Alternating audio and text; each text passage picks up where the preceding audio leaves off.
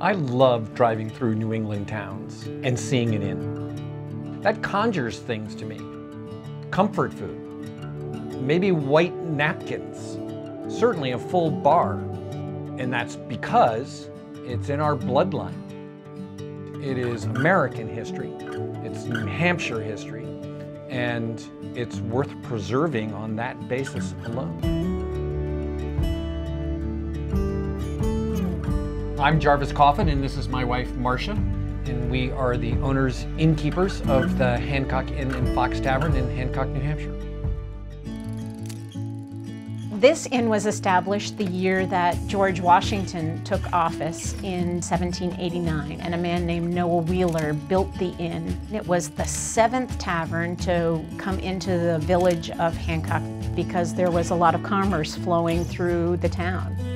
He had the unique idea to offer people a place to sleep overnight, not just to stop and refresh and get back into their stagecoach. The Hancock Inn and Fox Tavern, how can I help you? We like to think that we provide a nice community center for the town of Hancock. It's the center of hospitality.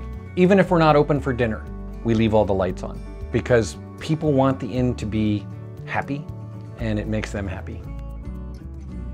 Hospitality in the year of COVID has been scaled back.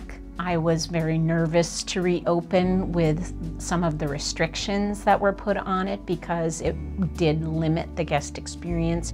But people have been incredible. They never flinched about those changes. The good news is that the human spirit is adventurous and it wants to travel.